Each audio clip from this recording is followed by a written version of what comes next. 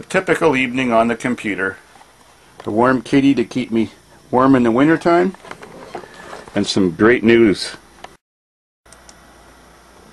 Jen has her own channel now. And she's looking for ideas to make videos with. Check her out. It's Hollywood 6919. Sweet. And Brit's on there too. Hello again, YouTube. Uh, Jen here. Uh, it's the morning after our big night last night. Um, couldn't get any video of inside the stubborn mule. Well, contact her.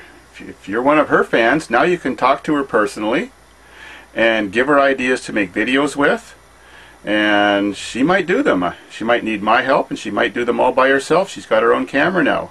She's just got to figure out a better way to render the video so they come out a little bit more clear. So check out Jen on YouTube, Hollywood 6919. Sweet.